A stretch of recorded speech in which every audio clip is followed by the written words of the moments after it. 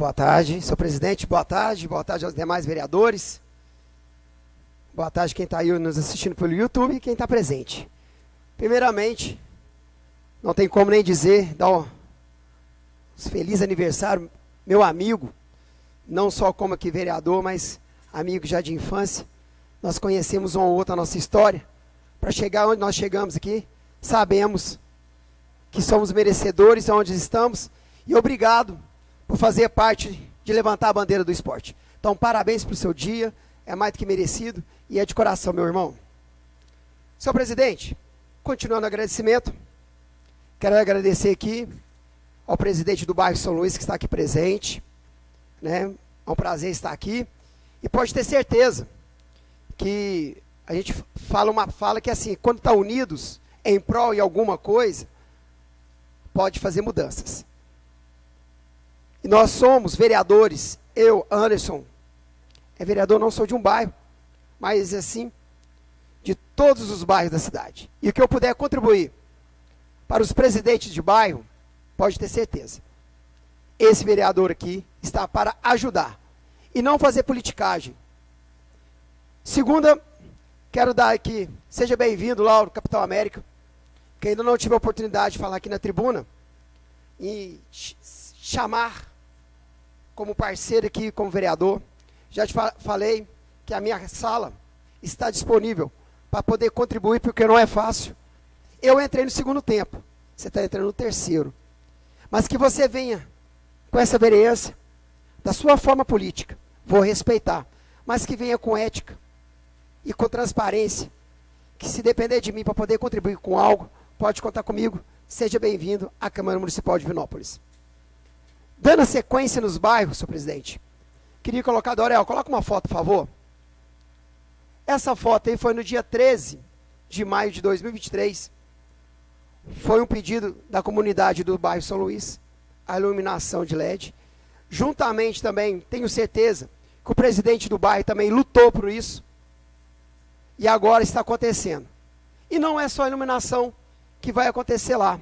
Tem outras coisas da demanda do Anderson vereador, que está em prol não só do bairro São Luís. Mas hoje estou falando do bairro São Luís, porque eu estou aqui à disposição para poder contribuir e fazer a diferença com a população daquele bairro. Pode contar com esse vereador que está aqui para trabalhar para o povo. Senhor presidente, aconteceu esse final de semana o exame de faixa de kickbox, juntamente com vários professores aqui da minha cidade, que faz parte da minha equipe da CIA Fight.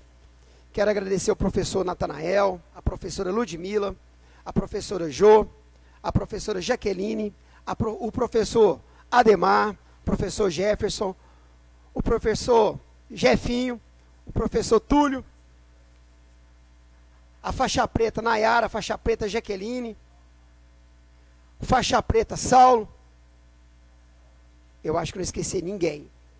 Quero agradecer por ter acontecido um evento que ficou na história de graduação. Nós formamos mais alguns alunos graduados na categoria de faixa colorida para se transformar no cidadão. Parabéns, alunos, mais do que merecedores. Foram mais de 70 atletas participando. Agradecer o Wesley. Wesley, obrigado por ceder o espaço, o polo esportivo, para acontecer esse evento porque nós precisávamos de um espaço amplo e aconteceu. Obrigado, parabéns crianças, parabéns adolescentes, parabéns os adultos. E vamos que vamos chegar na faixa preta, porque eu já falei para vocês, a cada montanha há sempre outra montanha.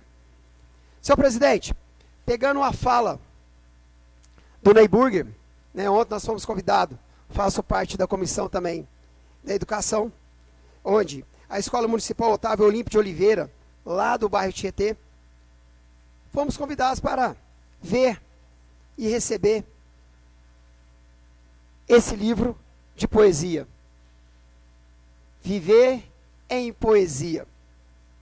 Meninos do sexto ano. E aí a gente fica assim, né? Muito feliz, sabendo, pegando a fala, que muitos dali vai sair um poeta, muitos dali vão sair iguais os professores, Muitos ali vão procurar outros fins. Muitos ali podem sair político. E peço que vocês levante a nossa bandeira verde e amarela. Ela é muito importante no nosso país. Levante a bandeira verde e amarela. E aí, senhor, senhor presidente, peguei o livro e tem uma mensagem. Eu sempre falei para vocês que no final das minhas falas teria um fechamento.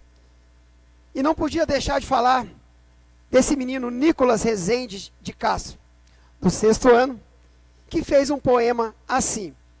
Lembrando que o esporte é mais do que a saúde. O esporte é vida. E aí ele fala assim: o futebol, como não amar? O futebol é uma arte viva, cheia de alegria e às vezes triste, mas nunca sem diversão. No futebol, você pode sentir bastante emoção na hora do gol, contra-ataque e dribles. No futebol, também tem dor, a dor do seu time, do coração, perder o seu jogador favorito se lesionar ou até o seu país se acabar. No futebol, também tem alegria do seu time ganhar um campeonato ou até uma simples partida. O futebol pode trazer sentimentos ruins e bons, mas nunca deixará de ser amado. O esporte sempre em primeiro lugar. Obrigado, presidente. Obrigado, vereador.